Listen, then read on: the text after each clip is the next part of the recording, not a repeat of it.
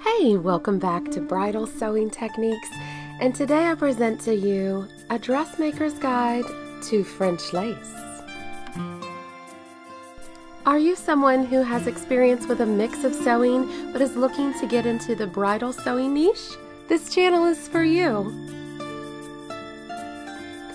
Well, welcome to a dressmaker's guide to French lace grab you a cup of coffee or a hot tea because as you can tell, this is a very long, comprehensive video. I have done my best to gather my information for you so that we can talk about what French lace is, where you can find it, at least I talk about where I find it, and let's also talk about what varieties are there, how you order it, and also how to cut and sew it. So here I am just scrolling through. Um, there's a lot to learn about French lace and it's fascinating to me. Um, basically, you can do a Google search. This is a Google image search on French lace Leavers looms. That's L E A V E R S looms, L O O M S. That is how the lace is woven on Leavers looms, and they are over 100 years old. This is a very old ancient craft. Um, French lace, there's there's not a lot of options as far as where it is woven nowadays. Um, the French lace industry used to employ over 30,000 people, and now they only employ around 300 people. So as you can imagine, this is a dying precious art, um, and the lace that they produce is certainly a very special work of art. Um, so we will talk some more about that throughout the video. Um, I do want to mention, you know, my first point was, what is French lace? Obviously, it's lace that's made in France, but I'm speaking specifically about the fr the French lace that is woven on these Leavers looms that are very old and historic. Um, so I'm going to speak from the perspective of sourcing from this company, Gelmor Lace. Um, you may have another uh, source that you use in the U.S. for French lace. Uh, but I need to remain true to myself and to my audience and um, be completely transparent and letting you know that I don't have multiple sources that are direct from the mill um, for French lace in the US. I only use Gelmor lace and they have helped me with this video they were also interested in educating up and coming bridal seamsters. Um, so they were very generous to us and sent us samples for us to make this video. So I just want to be clear um, that this is a wonderful company in my experience. Um, this is this video though is not a commercial for them. It is first and foremost an informational video about lace, but you're going to hear me mention them a lot because they are my source. Um, and of course, if you're getting into this industry, I know a major concern is um, who are your sources going to be? So they have been very faithful and great. So what I'm doing is I'm scrolling through this website here. You can go to their website and you can go through their galleries and um, research other places in the U.S. that they provide lace to. And there's also just information about the history of lace and the types of laces on their website. It's a very, very helpful and interesting source. So these first two bullet points in this video, what is it and where to find it, obviously they're bleeding together a little bit. But on Gelmor Lace, you can read more about the history of their company. But I want to draw attention to one particular feature that they offer is that they never discontinue a lace. That is very important when you get into sourcing as a professional bridal seamster, you want to make sure that all of your laces and supplies are what we call reorderable. You don't want to be mid project, run out of something, call your jobber or your source, and find out that they don't have any more of that. So that's a beautiful feature of using Gelmor lace. All right, so the third, uh, what varieties are there? Well, let's just open the mail and see.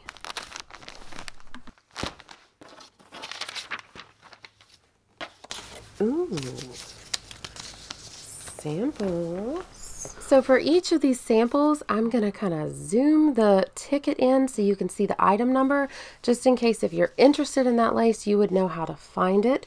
These item numbers, let me tell you, they are so, so helpful. This is their um, ivory Alençon lace in the Marilyn style, and it has the metallic cording. See the metallic gimp in there?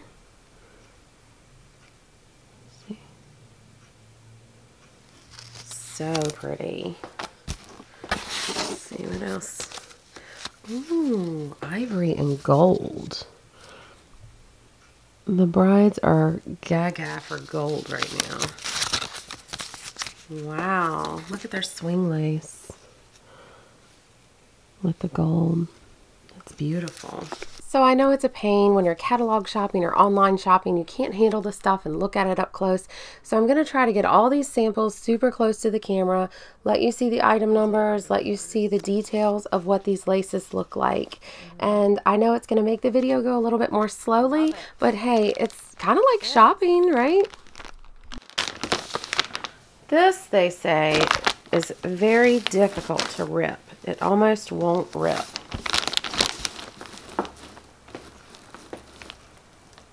You can see it's a little thicker and stronger than the Tulle Illusion.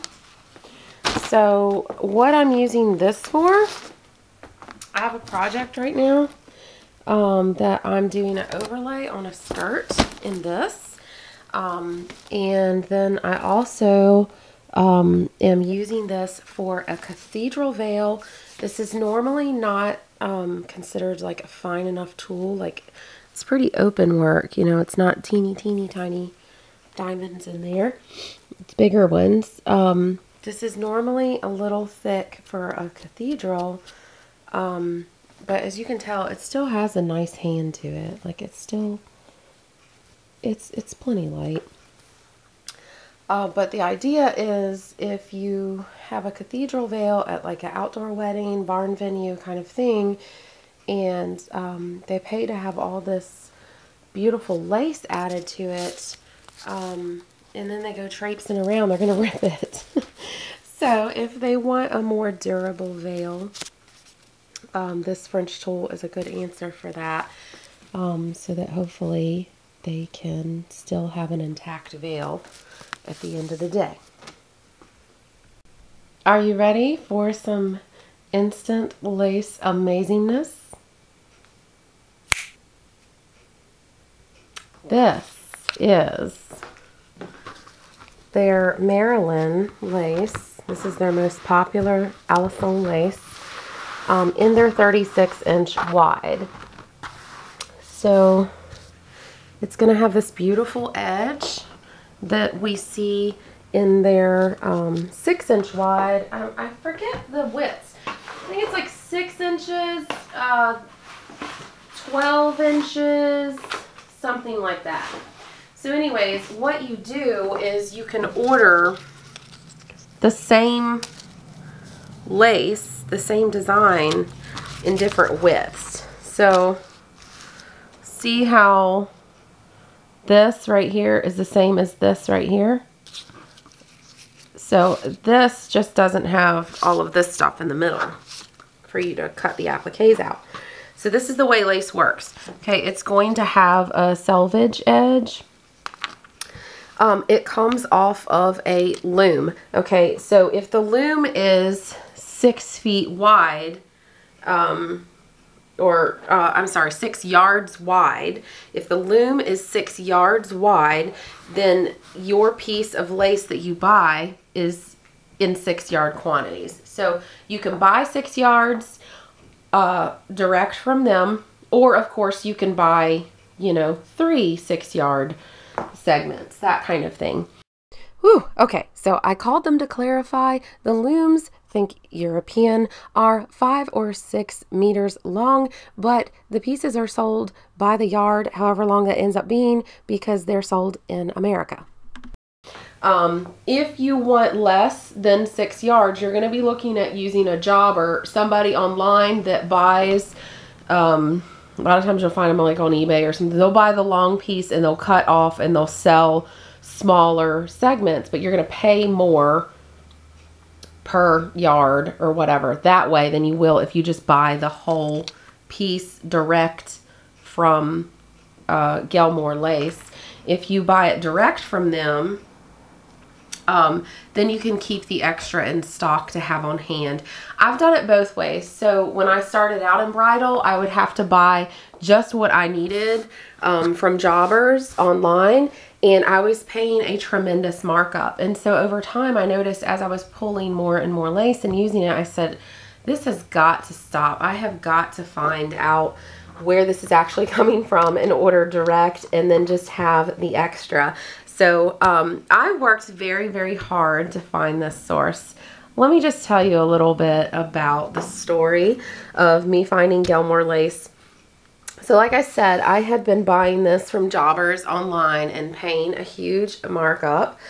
And um, I, I, knew it was French lace, but I could not find it um, from the most direct source in the U.S.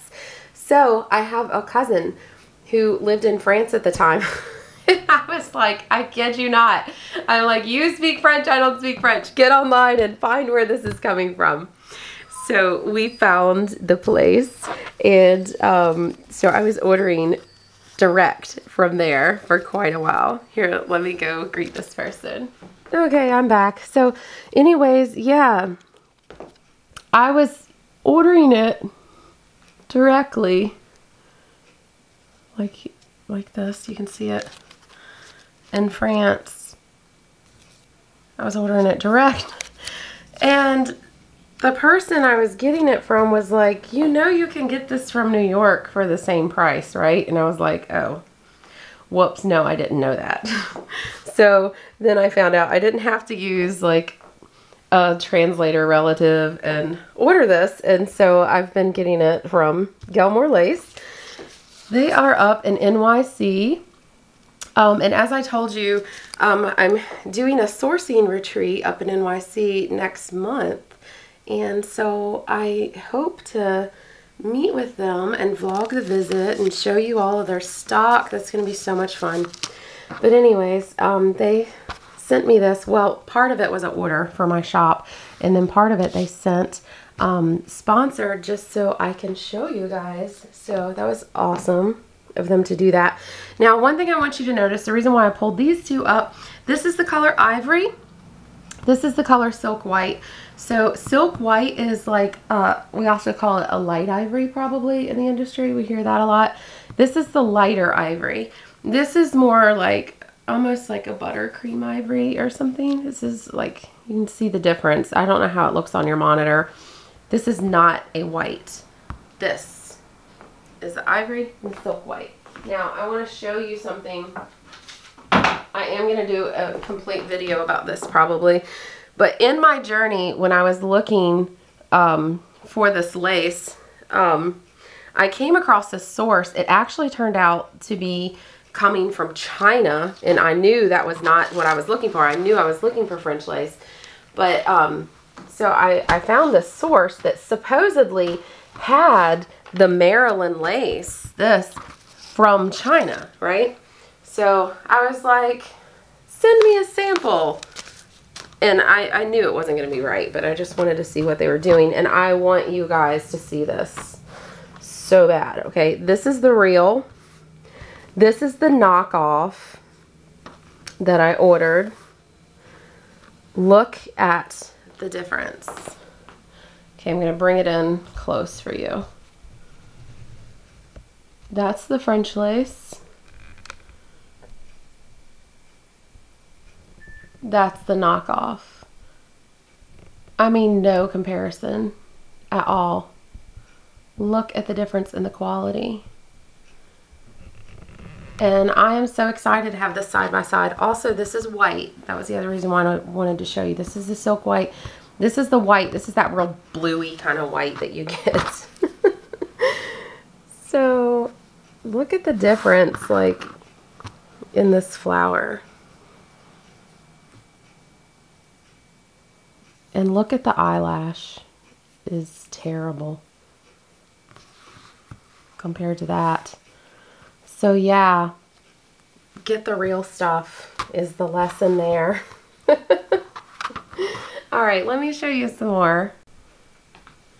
Okay, so this is just kind of um, stock samples. And then also I'm going to show you in this video how to use the larger pieces of lace to create appliques, okay?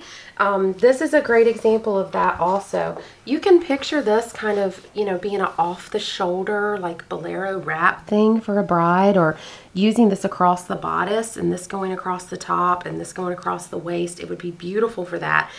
But you can also picture cutting very carefully around the edge of this here and here and making this beautiful trim swing lace. Um, and then also getting these matching appliques out of the deal. So that's how you use that. Um, I forget the name of this lace. It's a beautiful design. That's the number there. Obviously that's an ivory. Um, but I always call it, like, I always say it has like trellis, trellis work in it. Because doesn't that remind you of a trellis in a garden? A lot of the really pretty laces have that. So there's that. And this is, I think she said this is their second most popular lace. This is another lace um, that they sent me there from Gelmor. And this is the item number here. And this is also the silk white. Okay, so silk white and ivory. That's the color difference again. Um, I just want to show it to you in several instances so you can really get the picture of that. You can see that this would be beautiful for the skirt of a gown. Wouldn't this be amazing? But again, you could also use it to make appliques. Um, now picture how you could get a trim out of this. This is the way we think about lace when we look at it. Okay, you could go like this and just get that trim or watch this. You could go like this all the way up here and come down. Grab that rose, go way up high again. Do you see how that repeats? Like that. So you'd have these tall peaks and then these short roses. That would be such a beautiful dramatic lace. And then you would get all of these appliques out of the deal. So that's how you do that. I'm going to demo cutting some of this so you can see how to get the appliques out of it and then also how to design with them. So I want this to be a really comprehensive video and show you about the different types of lace, the different colors, and the different applications. So let's keep going. All right, so as you can see, this has that same, the same Marilyn um, swing to it on the edge. Um, this is in an ivory. And so this is going to show you like the design here. This is the width. So this is the 36 inch in the ivory. Okay. So there's that.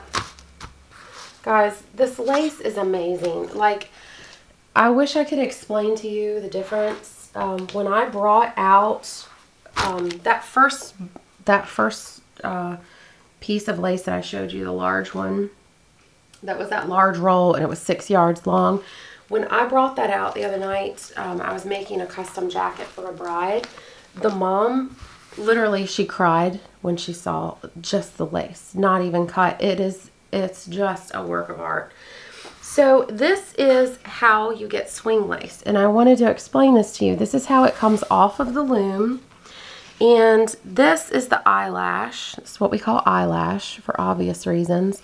This is where the eyelash comes from. It's the jump from the from the one lace to the next has that eyelash in between it. And so when you cut them apart, it creates the eyelash. So here, here it is. That's a 103. Can you see that? Let's see. Is that a 103? Yeah, 103 slash. Okay, silk white. So the way you use this is you cut along the top of this, retaining that eyelash. Now, to be honest, some brides hate eyelash. Most brides love it because it's a nice way, a delicate way of tapering off. Some brides will ask you to cut the eyelash off. That's fine. I just do whatever they ask, but it's considered an indicator of value. Um, so I try to explain that to my brides when they say, oh, I don't like that fuzzy stuff on the edge. What is that? Can you cut that off? And I show them like, okay, this is lace that came across the Pacific and see how it ends versus this. And I'll tell them, I'll, I'll do it for you. I'll cut it off. But you're taking a new car and you're asking them to rip out the leather seats and put in upholstered seats. So that's the way I describe it to them. And then once they realize it's an indicator of quality, a lot of times they'll they'll be like, oh, okay, yeah. and they kind of embrace it. So this is a lot of swing lace. You can imagine how helpful this is. This is your little edge that you're going to put around your necklines or the ends of sleeves. It's just a nice small little border that hasn't doesn't have too deep of a swing to it. So this is used for all sorts of applications. Um, so here's another swing lace. Okay, this is the same, but the same numbers as you'll recognize. But this is this is it having been cut off. Okay. So that's how it looks when it's cut off, and you can imagine how useful that is. This is how you use it. All right, so here is a metallic.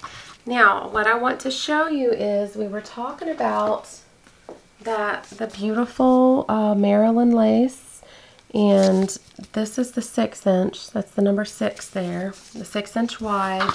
We were talking about that. This is the Alençon lace, okay? This is named for um, the area in France that it was originally loomed. Um, Alençon. Okay, so this we would call, when it doesn't have the cording, this is cording, the stiff stuff it's actually hand sewn on. This is what comes off the loom. Just the chantilly lace. And then they, they cord it. Then it's Alençon. So Chantilly is also the name of an area in France. Um, and so the lace that comes from Chantilly is actually Chantilly lace. But a lot of times you will hear people say this lace is Chantilly and this is Alençon. And the only distinction that they're actually referring to when they say that, they're not talking about the historical, the location, they're not getting into all that. What you are normally hearing them talk about is corded versus non-corded. Um, so you need to really kind of um, ask about that when somebody is talking about a Chantilly.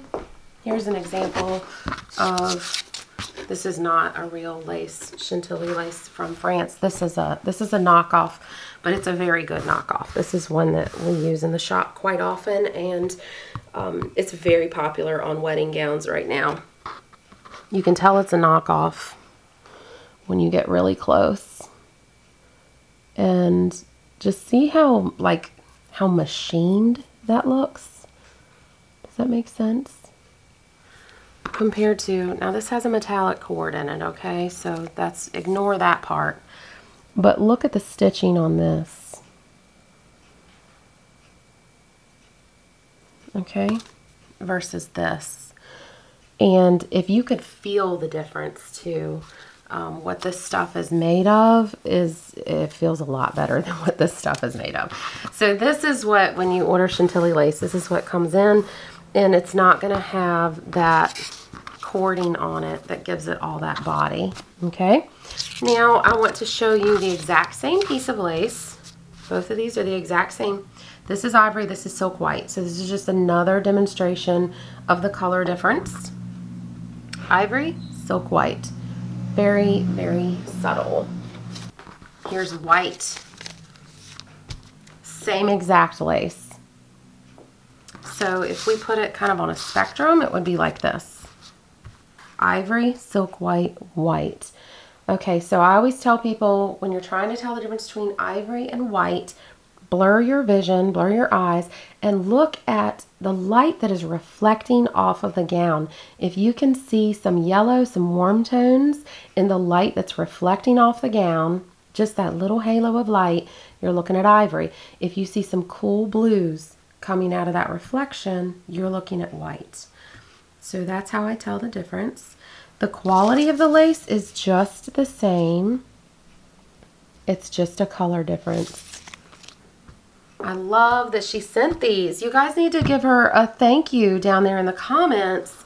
She's she cut her lace and got all this together for us just so I can do this video teaching you guys the difference um, and orienting you um, to her store and the experience of purchasing from her so you can kind of know what you're doing. It can be, you know, it's kind of intimidating the first time you order from somebody. Okay, this is the same thing. Let's compare again. This is going to be the corded and the not corded. The exact same thing. This just has the letter R. this one you can see the crossed out R. The color is ivory. Color is the same. Only difference is the cording is different. And this pattern is a little bit bigger. Do you see that? rose, rose, swoop, rose, rose, swoop. And look how much shorter this is. So the design, it looks really, it's the same, but this is a little bit longer of a design, if that makes sense. And it could even be that it comes off like this, but it draws up when they cord it. I don't know. That would be interesting. Someday, guys, okay, let me tell you this. I hate travel. I'm scared of travel. I'm a homebody if ever I get the nerve to go to France, I want I want to tour these places. And you know I'm taking my video camera with me. But I want to tour these places and see these looms. The white versus the ivory in the same. And these are the same length now. There's that selvage I was talking about where it comes off the end of the loom. Alright. And then here's some other samples that she sent us. I was showing you that French tulle earlier. Here it is in several different colors. She has this in 50 colors. Okay. This is can-can lace. This is stiff. This is a stiff tulle. A little bit stiffer. This comes in 20 colors. This, the 102B, is her French tulle that I was talking about that resists ripping and 50 colors. So uh, this is Sable. What a neutral, neutral color. That's lovely. It just about disappears, doesn't it? That's amazing. This is good for, um, you know, everything I talked about when I was showing you the bolt, but it's also very good for replacing the backs of gowns when the tulle has ripped. We get a lot of those. Um, the tulle you know, the sheer back gowns that they do now, the invisible backs, and the, the tulle is damaged and we have to pull all that lace off and replace the back. Um, this is going to be your stronger alternative um, when the designer has just used a tulle illusion that like ripped all the pieces right away. wow, she was very generous to send us all that. So definitely thank her in the comments down below. Um, also, if you have any questions about lace, please leave them in the comments down below. We'll be happy to try to help you with that. All right, so how to order it. Um, here is a packet that I got from them. I just called and ordered this and basically um, it just has their contact information in here and it's a huge file folder full of Xeroxes or um, copy machine copies of the lace. Um, so they put a contrast background behind it and put it through the copy machine and there you have it. Um, this has always been very helpful to me but you still may need to call and order a sample when you're doing um, like color matching, color comparisons, anything like that. Now see this long list in the upper right hand corner? Um, some of these laces come in a lot of colors. That entire list is a list of the colors. Um, so that's amazing. It's just it, it seems like unlimited um, the the amount of lace and the variety that we have. Um, also know that down below I'm going to put a coupon code so that when you call to order um, when you call them um, Marilyn, for which their most popular uh, lace is named, she she usually answers the phone. Um, she takes the order over the phone, and when you call her, just let her know um, that you heard um, about her from Bridal Sewing Techniques, and she'll have a little coupon code for you.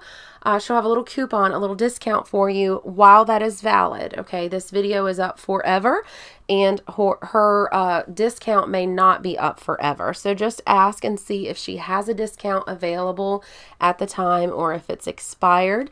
And if it is still current, she'll be happy to give that to you. Um, so, anyways, um, the fashion industry, uh, for those of you who are new to bridal and new to sourcing um, with wholesale, um, direct from the mill suppliers kind of things, um, it, it seems a little antiquated sometime but sometimes but it's it's a personal touch. So you're to call and you're to talk to them and you're to order your lace that way. Um, so it's a much more personal than just having a shopping cart. You can actually uh, build relationships with these people.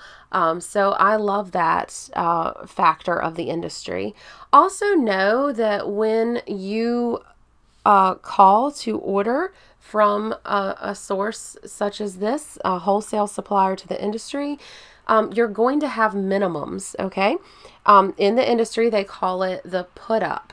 So uh, for each thing that you go to order, you can say, what is what's your minimum or what is your put up? And they'll tell you, oh, it's six yards or whatever, and it's this much per yard. Um, sometimes they have a put up minimum as far as the length, but then also the total price. Um, so that should be helpful to you also if you've not ordered lace before. Now what I'm doing here is I'm demoing cutting out a lace applique. And uh, what I want you to see in this segment, we, we've now moved on to the segment of how to cut and sew with the lace. I want you to see how I left some of the netting there. And now I'm going to cut it out. So you can compare um, how it looks if you're going to leave more of the netting in or less of the netting in. Of course, the netting stabilizes the pattern a little bit better, but you can see how the pattern in this lace really pops when you cut that extra netting out. You're also going to have the choice, and I'll show you later, of removing some of these leaves. Um, maybe you want a bolder look that's just floral and doesn't have the leaves and you want to cut those off. So what's beautiful about this design of lace, and this is the one that I was saying, I think she said is their second most popular lace. What's so amazing about this is that the appliques within this fabric contain mirrors, okay? So that is when you're working with lace, can you flip the lace over and find another piece that is a mirror to what you're doing? Um, you can't always find that. Sometimes in lace, the pattern just repeats. And so it'll have, you know, the, le the top will be tipping to the left and it always tips to the left.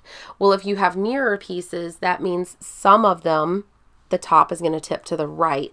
And what's great about that is when you need a symmetrical design, say on a bodice or the back of a gown, here's the, um, the style number of that lace if you're wanting to source it. But um, what is great is you can have that symmetry um, on your gown or uh, on the center back of the train. You can put one on each side of the center back, that kind of thing.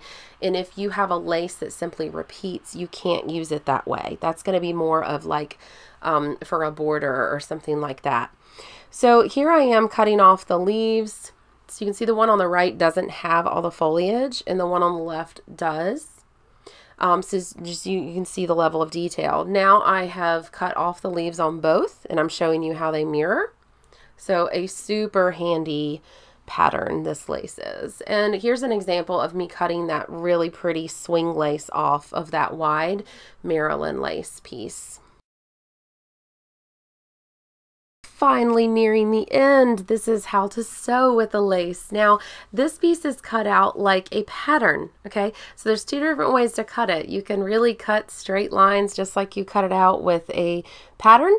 And here's an example, one of my little sketches where you cut it out using straight lines, you dart it, and then what you're going to do in this instance is you're going to go back and you're going to applique over the seams. This is super common in the industry, as you can imagine, for manufacturing. This is very calculated, very reproducible. So, we're going to see this a lot in the industry. Um, and here's an example of it. Um, this is how it would look cut with all those straight edges. I didn't cut around the flowers in the pattern. And then here's an example just on a manufactured gown. This is not French lace, but it's the same concept as far as they have covered the side seam. I'm having to recover that side seam with the lace appliques. Um, so super common. The other way that they do it is uh, this is a side seam okay, of say a bodice and we need to put a dart in there. Instead of cutting straight like this, we're going to cut around the applique pieces and just kind of generally make that negative space. And then we can move this down um, and then we can hand stitch along the edge of the lace, just like this. See how that moves? And then you don't have straight lines. Um, so here's an example up close of me stitching kind of along the edges of these blossoms to form a dart. Now normally I would not use a thread this thick and, and do my stitches quite this far apart if it was on the outside of a bodice. This is going to be covered with an overlay though. So it's fine for it to be strong and this is great for demonstration purposes because it's very clear. But generally you would use a much thinner thread and, and your stitch length would be a little bit shorter, a little closer together. So I hope that this has helped you. If you are a true lace nerd such as myself, I'm sure you've loved every minute of it. Please like, share, and subscribe. Put any questions you have down below. If you're new here, here is my channel trailer. I know what you're looking for. You've been sewing for years, but you want to get into full time bridal sewing. But there's something missing.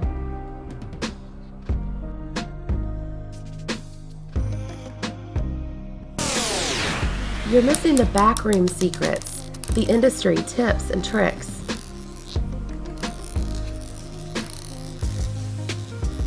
The tools the sources, the techniques that give you the speed and the accuracy that the industry demands.